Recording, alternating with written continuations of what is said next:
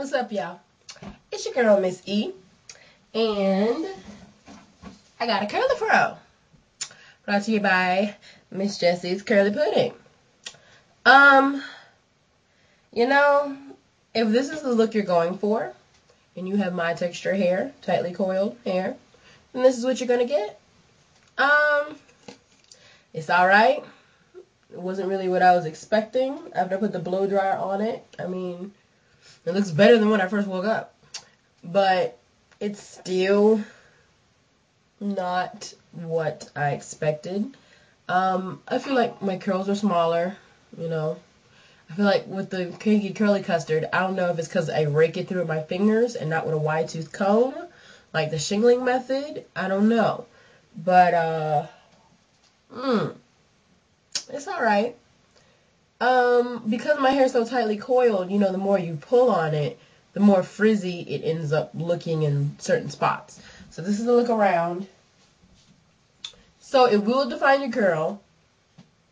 It will give you this little shine thing going on. But it does not moisturize. And it takes a long time to dry. So I'm still giving it a 2 out of 4. Because I probably won't buy this. I'm going to try the unscented one on my mom. And I'll let you guys see what that looks like. Because she has a looser curl pattern and maybe works better with a looser curl pattern. Maybe a tighter curl pattern like mine. I should have did um, a two-strand twist. I should have did a twist out. I don't know. But as of right now this is not going into my collection because um, i feel like i have other products that i can get this effect that cost less. Um, but i mean i guess for what it is is is you're gonna get exactly that defined curls, but you're not gonna get elongation. And in their little book, you know, that's what they say you're gonna get. But you know, it's never fun giving a not so all that review. But you know, that's just me keeping it real. So if you like the fro, let me know. Been a hot minute since I've rocked the fro, but I got a lot more compliments on my twist out with the buttercream. And the buttercream feels a little bit more moisturizing than this does. So I really don't think that the twist out with this would have even turned out better than the buttercream. Um, it did not reduce my shrinkage. I feel like my hair shrunk up more with this. And the heat from the blow dryer is what helped this work. So if you have some extra product laying around and you're like, you know, this is matted to your head, maybe you should, you know, make sure you use that blow dryer with the concentrator to stretch it out some. But this is the final result, y'all. I hope you like it. but um, I'll talk to y'all later. Um, I might be trying the curly meringue next or whatever.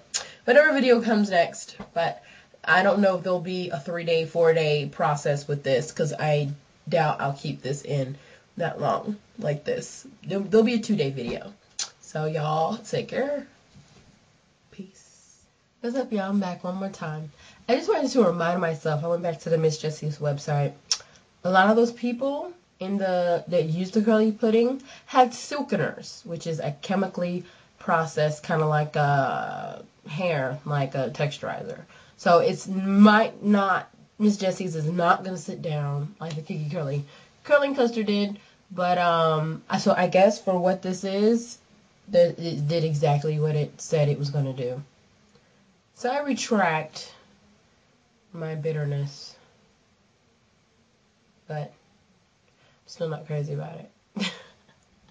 But just to remind y'all, so they so y'all know too, this is how it will turn out. If your if your hair is a fro naturally, it will be a fro just with a defined curl. So okay, y'all get a two and a half out of four.